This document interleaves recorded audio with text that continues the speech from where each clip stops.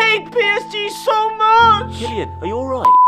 What? I f- hate you. Kylian, are you okay? Leave me alone. Kylian, what's the matter? I want to leave this stupid club. What? Why? Because everyone just treats me like What do you mean? Well, the manager, he's playing me striker, and I don't want to play striker. I want to play on the left wing. Kylian, it's best for the team if you play striker. And you think I give a about this stupid team? No. No, I don't. It must.